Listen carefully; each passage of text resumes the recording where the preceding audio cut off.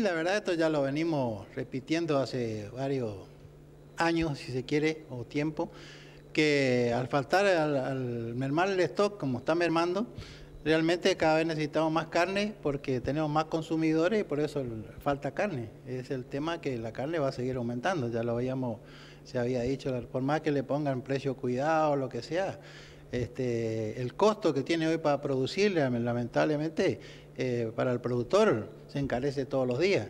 Tenemos una inflación realmente eh, de un 4, 3, 4% mensual, este, donde los insumos, aparte de los insumos que nosotros ocupamos para, producir, muchos de ellos están en dólares. Y el dólar, eh, para, el dólar para los insumos es un dólar oficial o un dólar, un dólar de de 150 pesos. Y cuando nosotros vendemos la producción o la exportación, el dólar vale 70 pesos. Entonces hay un despasaje ahí que realmente nos preocupa mucho. Creo que tendrían que bajar algunos impuestos. Este, si es que quieren bajar un poco o controlar un poco el precio de la carne, no con precios cuidados, yo creo que no se soluciona el problema. Mientras hay inflación, la carne va a seguir aumentando, como todas las cosas, no solo la carne. Vamos al supermercado, todos los días vemos precios nuevos. Hoy la hierba está casi 500 pesos al kilo. Entonces el pan aumentó, creo que aumenta más. Y bueno, todo está aumentando. O sea que este, eh, es un problema de la inflación que hay. El problema más grande que tenemos acá, el problema de la inflación.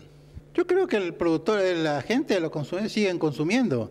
Vamos a la carnicería a veces y, no hay carne. O sea, no sé si, si están faenando un poco menos, pero la verdad que que la gente está consumiendo carne. Yo creo que mermó un poco hace un tiempo, pero ahora creo, creo que está estabilizado el consumo de la gente. Ahora, con un próximo aumento, justamente estábamos hablando con un carnicero, si aumenta otra vez, porque más o menos había estabilizado la, la, la, venta, más o menos un porcentaje importante que los consumidores este, compraban. Y bueno, hoy yo creo que, si me dijo, me decía él justamente que si llega a aumentar, yo creo que vamos, va a bajar otra vez seguramente el consumo decimos el tema que no hay novillo para exportar, o muy poco, porque realmente nadie se exporta novillo para exportar, porque a veces te cierran la exportación, el productor hasta tiene que quedarse con los novillos 30 días o 60 días, que es un costo que ya no recupera más.